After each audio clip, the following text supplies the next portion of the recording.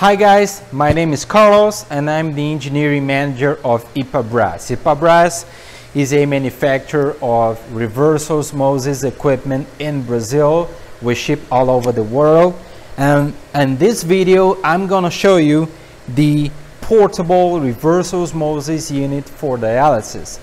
This equipment is able to produce water for two dialysis machines at once, okay?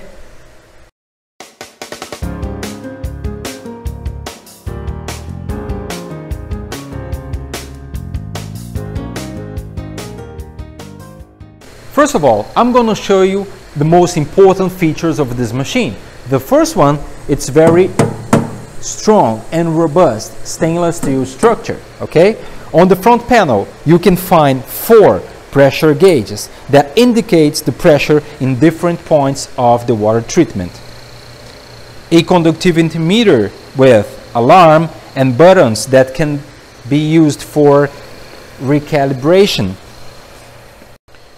here you can find the on-off button and here you can find all the inlet and outlet waters. Okay, so inlet water from tap water, outlet treated water, outlet discharge water, and samples for post carbon and treated water.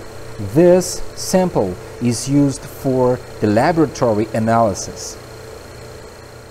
On the front part of the machine, you can find all the control parts.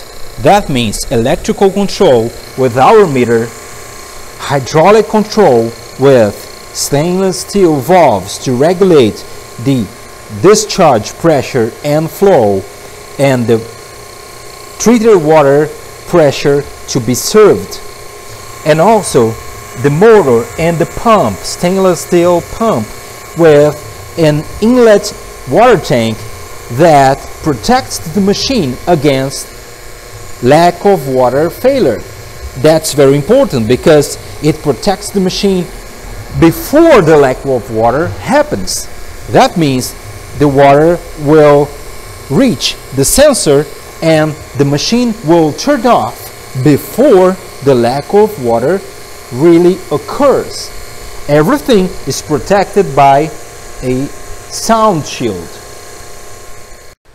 On the rear part of the machine, you can find also the purification steps. That means 5 micron PP sediment filter, 1 micron PP sediment filter, carbon block filter to remove the chlorine, and of course the RO membrane itself. This configuration is very important because it's separated from the front, front part. That means when you change a filter, it will not damage any electrical parts on the front because it's separated. It will not go wet. Another very important thing, you can change this configuration when you ask our engineering team. For example, if you have a very high chlorine levels in your inlet water, you can have, for example, two carbon blocks here. Or if you have a high conductivity, you can have two RO membranes working as a double pass RO machine. This is a one pass RO, but you can have also a double pass RO machine.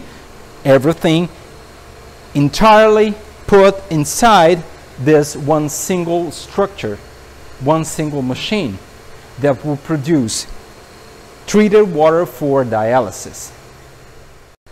If you like this video, and of course if you like the machine, please contact us, follow us. Thank you very much. See you later. Bye-bye.